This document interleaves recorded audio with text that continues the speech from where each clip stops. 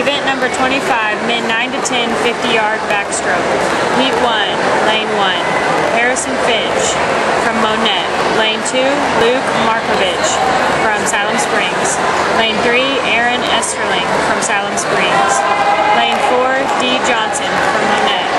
Lane 5, Andrew Cox from Branson. Lane 6, Paul Foreman from Branson.